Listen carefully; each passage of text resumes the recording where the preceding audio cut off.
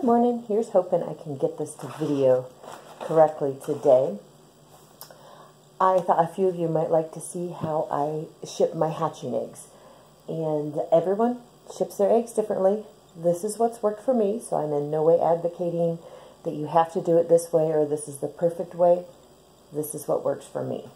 So I have most of my eggs already wrapped here um, and sitting waiting to be boxed up and I have three left unwrapped and I'm going to show you how I do it. The items that I use are paper towels, uh, rolls of the fine or small bubble wrap, scotch tape, and then I actually cut egg cartons in half and I'll show you why in a second.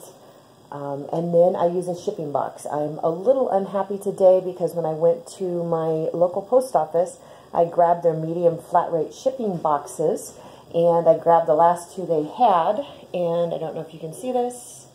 They're not the standard medium flat rate shipping boxes that I'm used to, but I can make this work. So I'll show you how I do that. But first let's get to wrapping them.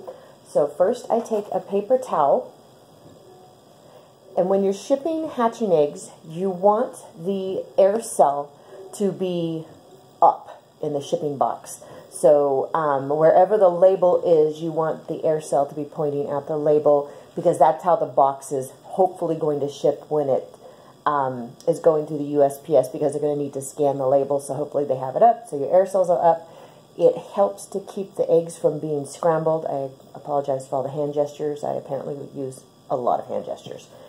Okay, so the first egg, so I want my air cell up, and if you notice when they're packaged, it's kind of hard to tell where the air cell is, or the big end, or the pointy end. So for my information, I take the egg, and I have the air cell pointed to my left, and you'll hopefully see why.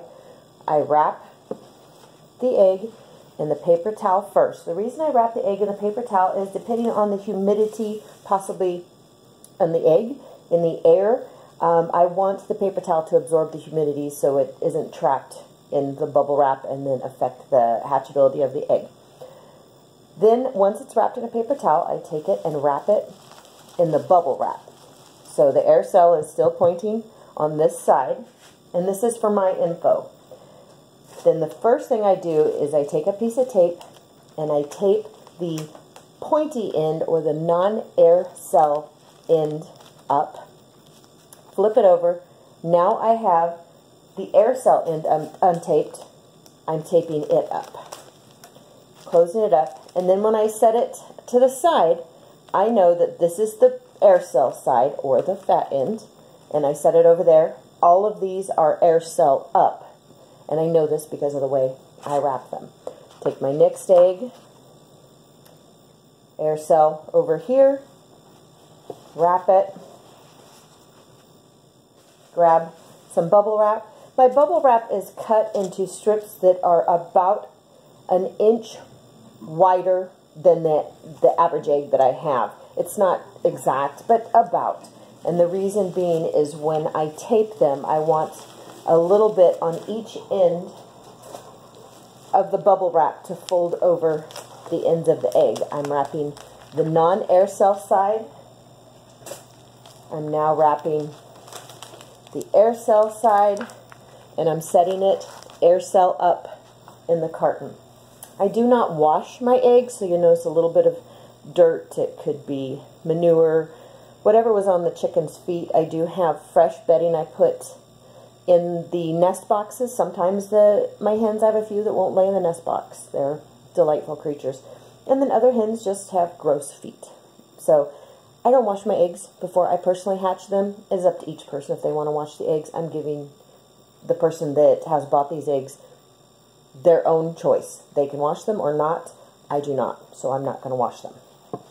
Wrap it in a paper towel. Grab the bubble wrap. And another thing to note is the bubble wrap has a um, puffy side and a smoother side. I wrap the puffy side in. Um, around the egg. Don't know if that's important or not. It's just the way I do it. I feel like it gives a little bit extra cushion for the egg. I'm taping the non-air cell side first, turning it over, taping the air cell side. Okay, so this is going to be a, pardon me as I cough, I apologize, a first for me. This is the side the label goes on, so I want my air cells to be up.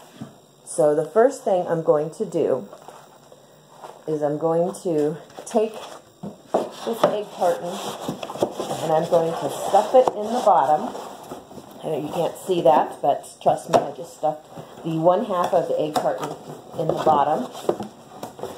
Then I'm going to slowly air cell up, put the eggs in there, air cell up, and I'm just going to gently put them in the shipping box with the air cell towards where the label's going to sit, and I'm packing them quite snugly. I don't know if you can see that. But I want them to fit in there quite tightly. There is some space at the top, and that one just fell over. Hopefully I have turned it the correct way, air cell up.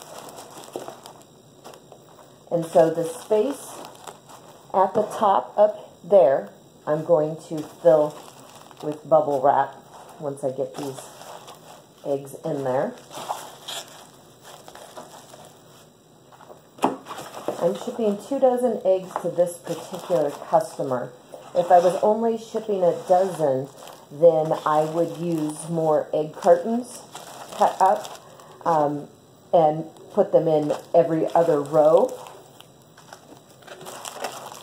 so that um, I have extra protection for these eggs. As you can see, my box is, my eggs are trying to fall over, but my box is just about full. And there's the last one. So now I'm going to take some of my bubble wrap. And I'm just going to kind of roll it up and see if I can shove it in there to the back. And as I'm filling, feeling, I should say, use my words, Lene, as I'm filling, feeling this box, as I'm filling it, I'm going to tilt it up for just a second so that I can shove the uh, bubble wrap down in there.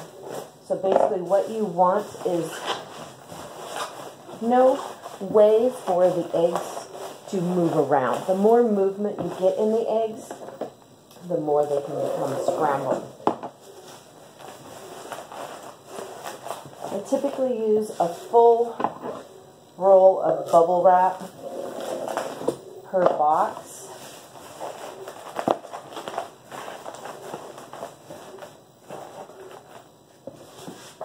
And uh, it just, you know, it is what it is.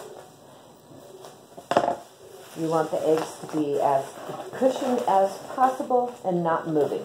So what I have, I now have, my box is kind of bulging up here at the top. I don't know if you can see that but there's definitely no room for the eggs to move around in there. Now I'm going to take, probably, it just depends, this one, and see if I can, yes, I can fit that in there, and this will protect the eggs from the top, and see how it's squished in there. Now I'm going to have to apologize for the sound my tape is going to make here in a second. Close the box. I'm going to actually tape the ends closed. Pardon me for that sound, that's so annoying. I'm going to do it again. Then all I have to do is slap a label on it and ship it off The process is exactly the same for the other size of flat rate, um, medium flat rate boxes. Um, if you're only shipping a dozen, again, you still, at least for me, I still use a um, medium flat rate box. I just add more egg cartons, uh, more fluffy fillers, so more of the uh, bubble wrap, um, anything to keep the box from getting damaged. Um, I have shipped eggs a couple of different ways, and this has um, been what's worked best for me. And so I hope you enjoyed this video. I hope it was informative. I hope you could see um, how I was shipping and packaging the eggs. It's time for me to put the label on, take it to the post office, and um, I always try to get a hold of the people who are purchasing my eggs once they've arrived and they've unpacked them and just ask them how the eggs look. I want to make sure that there are no cracked or damaged eggs as um, that's not going to help with the hatchability for sure. Alrighty, thank you all.